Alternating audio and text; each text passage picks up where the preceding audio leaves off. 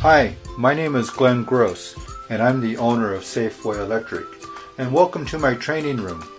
And I get calls throughout the week uh, from customers unable to uh, reset their circuit breaker. And so I would like to use this video and this opportunity uh, to show you how to safely reset a circuit breaker. So in previous videos I've showed you if there's a short on the circuit, the possible outcome that can happen when resetting a circuit breaker. On this uh, particular uh, circuit breaker that has tripped, it has tripped because of an overload condition. And we're going to go ahead and uh, just go ahead and confirm for sure that there's no short on this circuit before uh, resetting the circuit breaker because when there was an overload, there's a chance that maybe it heated up some wires and caused uh, some melting together.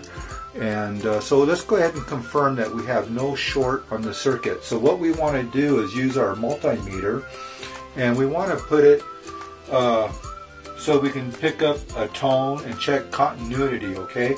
And so let's make sure that our test leads are good. We'll go ahead and test them. And you can see by bringing our test leads together on the display here, it reads 0.0 and that's showing a perfect connection. So my test leads and my battery are good, okay? So now we'll go over into the circuit breaker box and we'll identify the breaker that has tripped and here it is here. You can see that the handle is in the middle position. And I'll go ahead and I'll take one end of one of my test leads, it doesn't matter, the red or the black, and I'll place it there on the uh, output of the circuit breaker. And I'll take the other test lead and I'll put it onto the uh, terminal strip where all the grounds and the neutrals are. And you can see on my meter that it hasn't done anything. It's not generating any tones or any numbers. So here I feel fully confident that there's no shorts on the circuit and it would be safe to reset the circuit breaker. So how do we reset the circuit breaker? We can see that the circuit breaker handle is in the middle position. If we just put it to the on position, nothing happens. It's not that the breaker's faulty or broken, that's just the way it's designed to work. What you need to do is take the circuit breaker handle, switch it all the way to the off position like that, and then restore power by turning the circuit breaker on. And the, you can see here that the circuit breaker has uh, stayed on, it hasn't shut off, and you should have full power into the house to that circuit.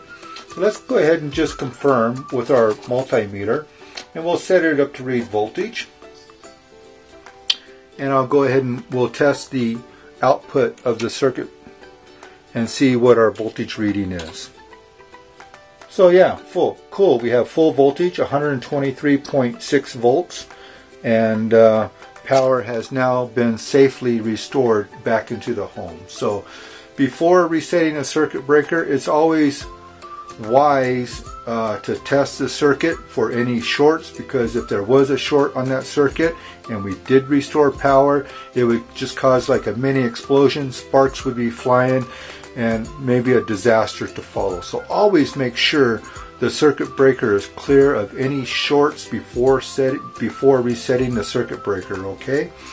And uh, hopefully by watching this video, uh, you've learned something today here in my training room. And most of all, uh, you know, we're keeping your home safe and keeping your family safe. So, once again, thank you so much for spending time with me today in my training room and watching my videos. Hopefully, I saved you some time and some money and kept your home safe. That's our goal here at Safeway Electric and Solar Co.